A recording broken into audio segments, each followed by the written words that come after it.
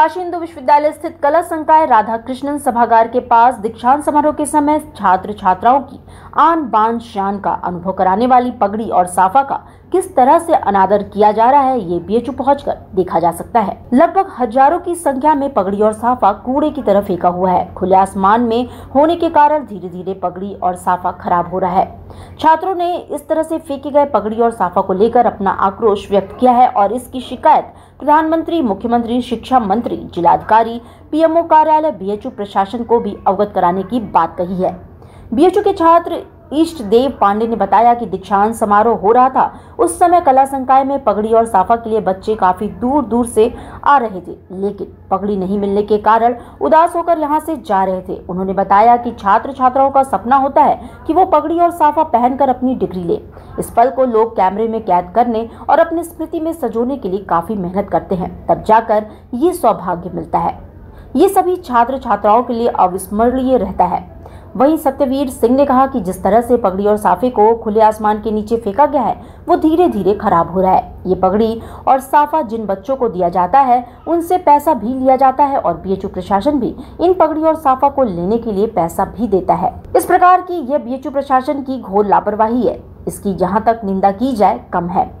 उन्होंने आगे बताया कि जब दीक्षांत समारोह होने वाला था उससे पहले बच्चों को पगड़ी और साफा नहीं मिल रहा था जिसको लेकर हम लोगों ने बीएचओ सिंह द्वार पर धरना प्रदर्शन भी किया था। परंतु उस समय ये कहकर छात्र छात्राओं को वापस कर दिया जा रहा था कि अभी हम लोगों के पास पगड़ी और साफा उपलब्ध नहीं है। इस बात की शिकायत हम लोग ऊँचे स्तर पर करेंगे। सत्यवीर सिंह शोध छात्र काशी हिंदू विश्वविद्यालय। क्या मामला है? किस तरह का आज आप लोग विरोध दर्ज करा रहे हैं? आज पिछले तीन चार दिनों से काशी हिंदू विश्वविद्यालय के कला संकाय प्रांगण में, ओल्ड सीएचसी बिल्डिंग के बगल में, आप देखेंगे कि हज़ारों की संख्या में साफा और उतरिया फेंका हुआ है खुले आसमान के नीचे। और आप सभी को याद होगा, न्यूज़ के माध्यम से आप लोगों ने इसको हाईलाइट भी किया था, छात्रों ने विरोध भी किया था। जब विश्वविद्यालय में दीक्षांत समारोह हुआ था तो हज़ारों छात्रों को साफा और उतरिया नहीं मिला था, जिसके कारण मेन गेट बंद किया गया था। तो उस समय आश्वासन मिला प्रशासन से कि साफा उतरिया सभी को मिलेगा। लेकिन फिर भी किसी को मिला नहीं। सारे छात्र एक दूसरे का पहन के, कोई पहना ही नहीं, कोई रोया, कोई दिल्ली से आया था, कोई महाराष्ट्र से आया था, कोई नौकरी छोड़ के आया था, कोई छुट्टी लेके आया था, कि साफा और उतरिया मिलेगा, जो कि छात्रों का सम्मान होता है, उसको पहन के हम उपाधि प्राप्त करेंगे, काशी बिंदु विश्वविद्यालय में पढ़ रहे हैं तो। लेकिन वो नहीं मिला था। वो साफा और उतरिया पैसे से सबको मिल रहा था, लेकिन आज वही हज़ारों लाखों रुपए का साफा उतरिया, जो कि पैसे से विश्वविद्यालय प्रशासन भी खरीदा होगा, जहाँ से भी खरीदा होगा, उसको खुले आसमान के नीचे फेंका है। ये शर्म की बात है और महामना जी क्या सोचे होंगे इस विश्वविद्यालय को बनाते समय कि ऐसा एक दिन आएगा कि विश्वविद्यालय का सम्मान तार तार होगा रोड और सड़कों के नीचे? आज वो ऐसे फेंका हुआ है जैसे कि जैसे कि कबड़ा है जो कि वो धन से आया हुआ है और बच्चों को भी पैसे पे देना था फिर भी ये लोग दे नहीं पाए। इससे भी हो सकता है। इसका अभी वर्तमान में विश्वविद्यालय के पास इतना स्टोर रूम है। इतना जगह है कि उसके पास साफा उतरिया जो कि विश्वविद्यालय का सम्मान है वो रखने का जगह नहीं है उसको रोड पर रखना पड़ रहा है। और विश्वविद्यालय में तमाम चीज़ें हैं, जिनके लिए तमाम जगह हैं, जिसका कोई काम नहीं है।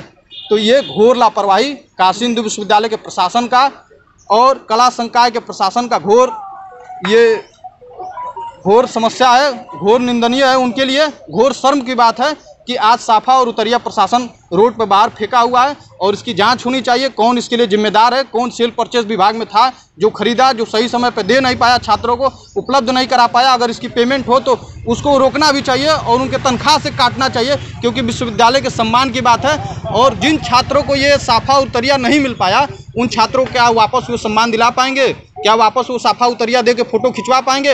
हर छात्रों का ये अंदर से, हृदय से अंदर से रहता है कि हम साफा उतरिया समाधि में, उपाधि में लेंगे और उसके बाद से घर पे रखेंगे, जाके सजा के रखेंगे, उनको नहीं मिल पाया, क्या ये फिर दोबारा दे पाएँगे?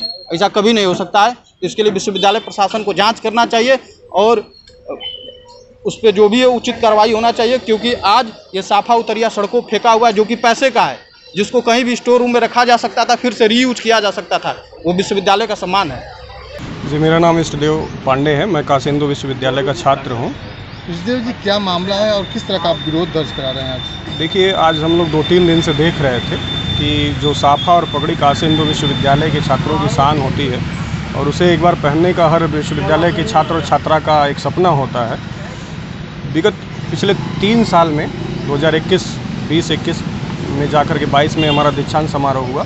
उस समय उतर, उतरिया, अर्थात पगड़ी और साफे के लिए मारा मारी थी और हमने देखा था आप लोगों के माध्यम से ही समाचार पत्रों में और टेलीविज़न में कि हमारी छात्राएँ, बहनें रोते हुए जिनको पगड़ी और साफा नहीं मिल पाया था, यहाँ से वापस गई थी, उनका सपना टूटा था।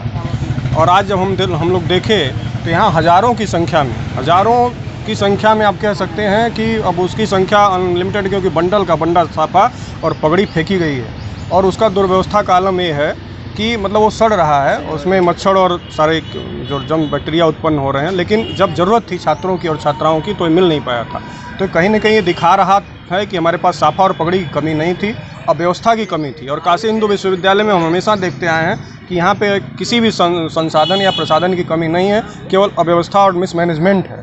तो कहीं ना कहीं यहाँ के जिम्मेदार लोग, लोगों की जो ये ज़िम्मेदारी है, वो हमेशा उससे विफल होते रहे हैं। तो हम विश्वविद्यालय प्रशासन से मांग करते हैं कि इसके पीछे जो ये दुर्व्यवस्था हुई है, इसकी जाँच कराई जाए और इसके पीछे कि कौन से लोग थे जिनकी वजह से छात्रों को और छात्राओं को ये साफा और दुपट्टा नहीं मिल पाया था, उनका सपना टूटा था, उनके खिलाफ कठोर से कठोर कार्रवाई हो और ये जो हमारा शान है, साफा और पगड़ी, इसको उचित तरीके से डिस्पोज कराने का काम किया जाए, न कि रोड पर फेंक दिया जाए जिससे कि हम आने वाले राहगीरों के रास्ते में और उनके पैरों तरफ़ कुच कुचला जा रहा है। ये कहाँ पे फेंका गया और किस डिपार्टमेंट के पास है? देखिए फैकल्टी ऑफ़ आर्ट्स का जो पीछे का गेट है दरवाज़ा है फैकल्टी ऑफ़ आर्ट्स में आप लोग भी देखेंगे वहीं पे पड़ा हुआ है और कम से कम इसकी संख्या हज़ारों की संग में है। तो क्या ये खुले आसमान के नीचे खुले आसमान के नीचे है और पानी से लगभग लगभग आधा सड़ भी चुका है। और ये बड़े दुख की बात है कि वो पगड़ी और साफा जिसे हम बचा के रखते हैं आजीवन हम लोगों हम लोगों, हम लोग जब ग्रेजुएशन किया था हमने 2014 में आया यहाँ से तो उस समय मिला है, आज भी हमने इसको बचा के रखा और जस का तस नया दिखता है। लेकिन वही उतरिया और साफा आज देखिए उस आधा से ज़्यादा सड़ चुका है और ऐसे ही बारिश में धूप में वो सड़ रहा है। अच्छा एक बात उत्तर जाता था। जी जी बिल्कुल। था ही नहीं संख्या कम है, संख्या था ही नहीं तो जी संख्या कम है नहीं था और हम लोग कई हम लोगों ने भी देखा है कि बहुत सारे बच्चे एक एक नहीं था नहीं मिल पा रहा था पैसा देने के बाद भी नहीं मिल पा रहा था तो एक ही उतरिया और एक ही साफा और एक ही पकड़ी से तीन तीन चार चार बच्चों ने अपनी डिग्रियाँ ली। लेकिन ये देखिए कि हज़ार उस समय ऐसा नहीं था कि नहीं था हम लोगों ने उस समय भी विरोध किया था क्यों नहीं है? तो उन लोगों ने कहा कि नहीं समय कम था नहीं कर पाए संख्या बढ़ गई। लेकिन आज देखिए प्रशासन की लापरवाही कि हमारे पास संख्या थी संसाधन था लेकिन उसका दुरुपयोग हुआ। उस समय उसको एट लास्ट उसको किसी न किसी को हैंड ओवर कर दिए होते तो ये नौबत नहीं आती। बिल्कुल बिल्कुल आपकी सही बात है। तो कहीं ना कहीं जिम्मेदार लोगों के ऊपर कार्रवाई होती क्योंकि उनका ये उनकी असफलता है। तो क्या आप ऊँचे स्तर पे इसकी माँ उठाएँगे? बिल्कुल आज तो हम लोगों ने एक शांतिपूर्ण तरीके से आप लोगों के माध्यम से विश्वविद्यालय प्रशासन को शासन को ये दिखाने का प्रयत्न किया है प्रयास किया है कि ऐसा हुआ है गलत हो रहा है। अगर ये उसको सही तरीके से डिकम्पोज नहीं करते हैं उसको नहीं हटाते हैं तो आगे हम लोग एक बड़ा आंदोलन करेंगे विश्वविद्यालय। डिजिटल इंडिया का digital new platform live VNS पिछले सात वर्षों से बनारस की सेवा में। पाइए बनारस के कोने कोने की खबर, निष्पक्षता के साथ। लाइव वीएनएस से बनारस की ताज़ा तरीन खबरों के लिए प्ले स्टोर से डाउनलोड कीजिए लाइव वीएनएस ऐप या फॉलो कीजिए लाइव वीएनएस को सोशल मीडिया पर।